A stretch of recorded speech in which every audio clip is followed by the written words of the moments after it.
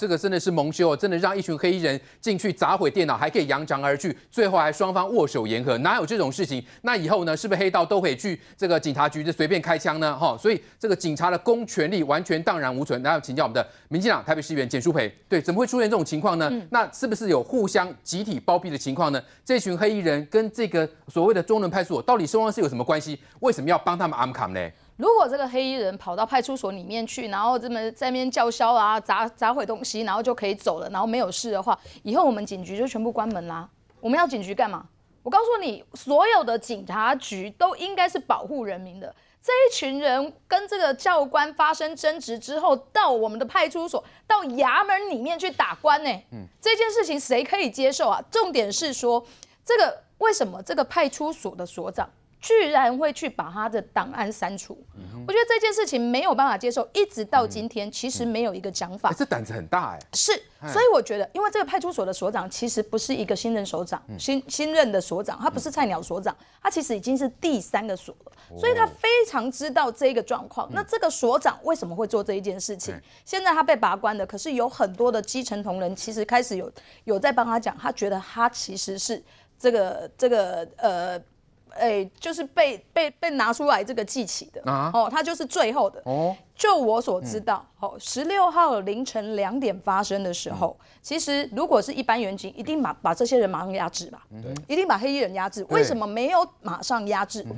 听说当下是有人到派出所去关心的哦。好那今天影片被公布了，但这个派出这个这个警察局的局长并没有把这个影片公布给大家知道。是谁去关所以到底我现在所收到的消息，十六号凌晨两点。是不是有人到的中伦派出所去关切这一件事情，所以才有一连串接下来荒谬的演出，包含档案删除，包含说谎，包含找了这个这个呃呃当事人来跟这个教官握手言和，然后在议会说谎，在市市长。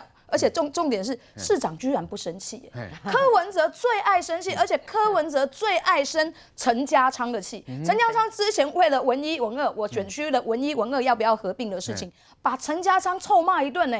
陈家昌拿出说，哎，我告诉呃报告这个市长，这个呃我们地方选区的议员都反对。哦，我们有一个议员简书培收集很多的资料，市长把他臭骂一顿呢，说你拿简书培的资料要来要来要来告诉我，他最最气陈家昌的事情。他居然在这一件事情只有轻轻一派轻松啊！对，好像好像局外人呢，好像局外人说，我早就知道他说谎了。你觉得你这样讲，你就没有督导失职吗？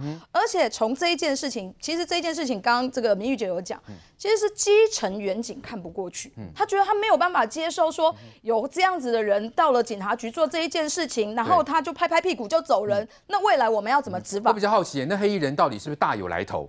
为什么可以有人出来帮他讲话？说说，所以都所以这就是一个大问题。但今天陈家昌陈局长居然在议会答询议员的时候，是还说，因为我们现在所掌握的是他们好像有一些帮派背景，好，但局长还是说没有没有掌握。哦，没有掌握。那到底在隐瞒什么？从局长到市长，市长的不生气让我很讶异，而且这个明显就是你知道分局派出所的所长都以灭证。